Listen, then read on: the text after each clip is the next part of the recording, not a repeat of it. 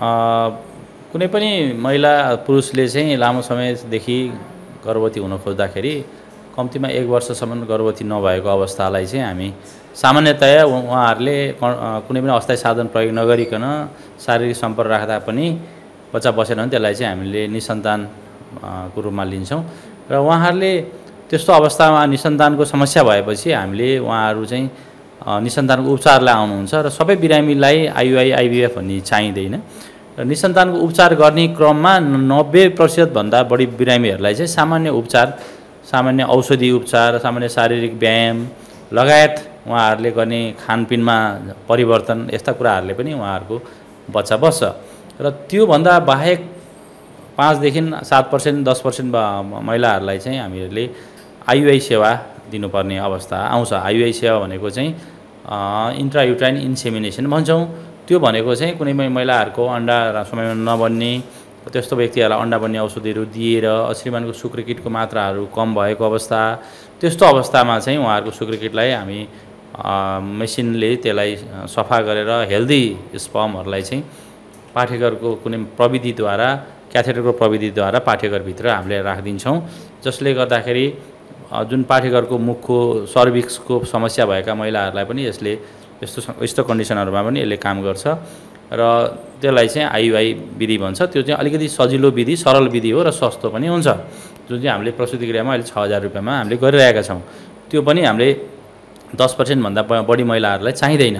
र बाँकी महिलाहरू पुरुषहरू जसको साह्रै नै सुग्रिकिटको मात्रा साह्रै न्यून छ नलीहरू पुरै बन्द छ उहाँहरूले कहिले अब अन्डाहरू ट्युमरहरू आएर त्यसको समस्याहरू परेको छ अन्डाको क्यापेसिटी ह्रास भएको छ उमेर धेरै भएर क्यापेसिटी अन्डाको रा अन्डाको ह्रास भइसकेको अवस्था छ। त्यस्तो अवस्थामा चाहिँ हामीहरूले उहाँहरूलाई आइबिएफ अथवा टेस्ट ट्युब बेबी हामीले गर्दछौँ। र टेस्ट ट्युब बेबी आइबिएफ गर्दा चाहिँ अलिकति खर्चिलो हुन्छ। हामीहरूले अहिले नेपाल सरकारले जनताको माझमा सरल स पहुँच होस् र सस्तो आइबिएफ सेवा दिनु पाइयोस् भन्ने हिसाबमा हेतुका साथ अहिले प्रसुति गृहलाई चाहिँ एउटा सेन्टर अफ सेन्टरको रूपमा नेपाल सरकारले एउटा मात्र सेन्टर हो जहाँ चाहिँ आइबिएफ सेवा छ सरकारी।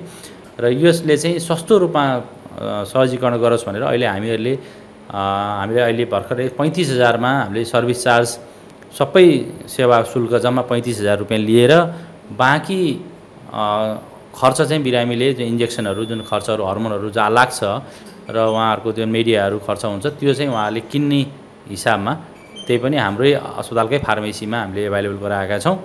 त्यो किन्ने हिसाबमा उहाँहरूले अहिले आइबिएफ सेवालाई हामीले सहजीकरण सरल बनाइदिएका छौँ र धेरैजसो बिरामीहरूले चाहिँ यो सेवालाई चाहिँ थाहा नभएर प्रसुति क्रियामा यो सेवा छ यति राम्रो सेवा छ भन्ने कुरा थाहा नभएर पनि हामीहरूसँग बाहिर बाहिर हराइरहनु भएको छ र बाहिर धेरै खर्चिलो उपचारहरू गर्नुभएको छ।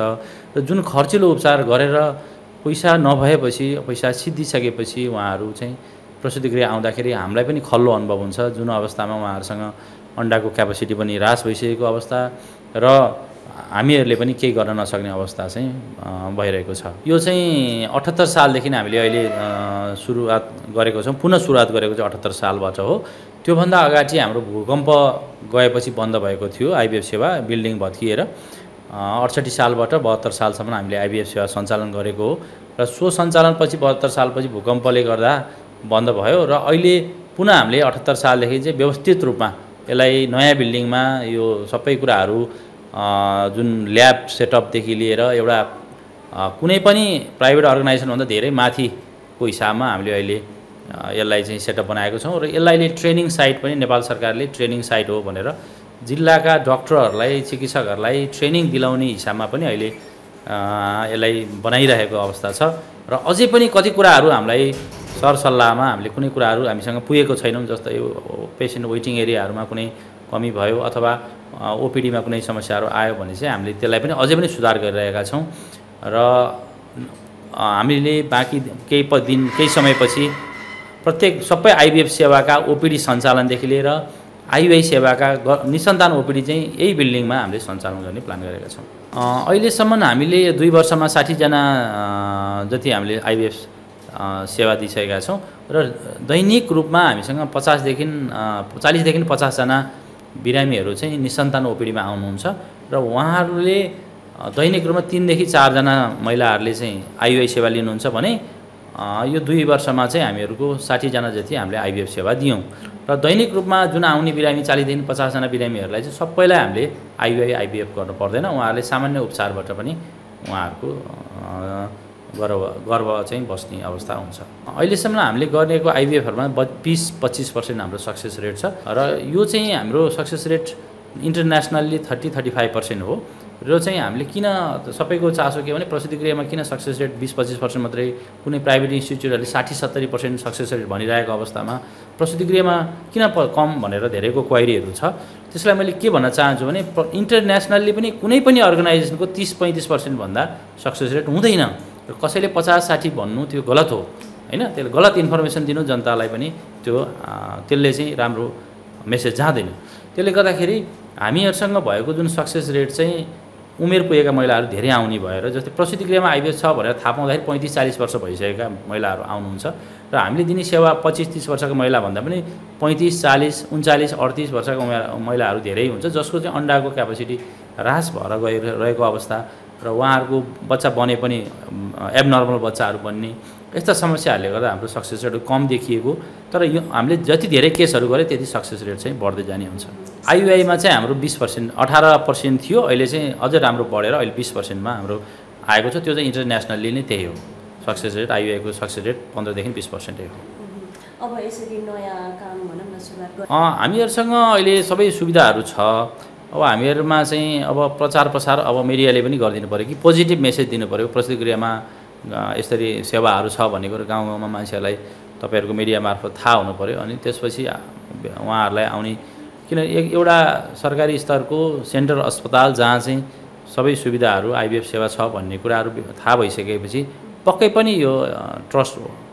जनताहरूले विश्वसनीय नै हुन्छ र धेरैलाई थाहा दिन चाहिँ हामीले जरुरत हुन्छ। निसन्तानको मुख्य कारण चाहिँ उमेरै हो। किनभने हामीहरूले पहिला पहिला अठार वर्षमा बिहे गर्ने पन्ध्र सोह्र वर्षमा बिहा गर्ने र बिस बाइस वर्षमा बच्चा पाइसक्ने अवस्था हुन्थ्यो भने अहिले हामीहरू पढ्दा पढ्दा पच्चिस तिस वर्ष गरिसकेको अवस्था हुन्छ। जसले गर्दाखेरि जुन बिस वर्षको महिलाको जुन अन्डाको क्यापेसिटी छ तिस वर्षपछि हुँदैन। पैँतिस वर्षपछि झन् घट्दै जान्छ चालिस वर्षपछि त अन्डाको क्यापेसिटी रहँदैन। भनेपछि हामीहरू धेरैजसो महिलाहरूको अहिलेको यसो अवस्था हेर्दा पैँतिस thirty five thirty two thirty five पछि मात्रै बिहे गरेको देखिन्छ। र उहाँहरूको चाहिँ लेट म्यारिजपछि बच्चा पाउने पनि अलिकति लेट हुन्छ जसले गर्दाखेरि उमेरको कारणले गर्दा अन्डा जन्मिँदाखेरि जति भ्रूणमा बनेको अन्डा जन्मिँदा जति लिएर आएको हुन्छ त्यो बच्चाले त्यही अन्डा चाहिँ प्रत्येक महिना सिद्धिँदै जाने हो। त्यसले जति उमेर ढल्किँदै गयो त्यो अन्डा सिद्धिँदै जान्छ। त्यो त्यो भएर हाम्रो भकारी जस्तो स्टोर जस्तै हो। त्यसले गर्दा त्यो स्टोर चाहिँ सिद्धिँदै गएपछि उमेरले गर्दाखेरि उमेर चाहिँ मुख्य कारण हो। र अर्को कारण भनेको खानपिन र हाम्रो रहन्छन् जस्तै एक्सर्साइजहरू कम गर्ने कामहरू कम गर्ने र खानपिनमा बढी मिठो मिठो जङ्क फुडहरू बढी खाने जुनले चाहिँ हाम्रो जुन जङ्क फुडहरूमा हुने टक्सिनहरूले चाहिँ त्यसलाई चाहिँ हाम्रो अन्डा अन्डा अन्डाको क्यापेसिटीहरूलाई ह्रास गराएर लैजान्छ र उमेर ढल्किँदै गएपछि पाठेघरको रोगहरू पनि बढ्दै जाने हुन्छ अन्डाको ओभरीको रोगहरू पनि बढ्दै जान्छ नली ब्लक हुने समस्याहरू हुँदै जान्छ त्यो भयो र अर्को कारणहरू भनेको चाहिँ आइपिएफ गर्नुपर्ने समस्याहरू भनेको चाहिँ मल्टिपल सेक्सुअल पार्टनर किनभने हामीसँग मल्टिपल सेक्सुअल पार्टनर भइसकेपछि त्यसले इन्फेक्सन गराउँछ। पाठेघर इन्फेक्सनले नलीहरू इन्फेक्सन गराउँछ नली ब्लक हुन्छ र त्यसको कारणले गर्दा चाहिँ बच्चाहरू नबन्ने हुन्छ। कमन चाहिँ यही हो। हामीसँग अब सम्पूर्ण सुविधा प्रसुति गृहमा अहिले हाम्रो सुविधा छ र बिरामीहरूको लागि बिरामीहरूले पनि विश्वास गरेर धेरै ओपिडी सङ्ख्या चाहिँ बढेको अवस्था चाहिँ छ। तर आइबिएफलाई चाहिँ समयमै आफ्नो उपचार गरौँ। सबै बिरामीलाई आइबिएफ चाहिँदैन। र सबै बिरामी हामीसँग भएको आइबिएफ सुविधा चाहिँ सबैभन्दा सस्तो नै छ र जनताको पहुँचमै हामीले पुऱ्याउने हिसाबमा राखेका छौँ। र सम्पूर्णलाई आज यही मिडिया मार्फत के भन्न चाहन्छु भने यो सेवा चाहिँ तपाईँहरूले लिनलाई समयमै अस्पतालमा आएर चिकित्सकको बाट सरसल्लाह चाहिँ लिनुहोला।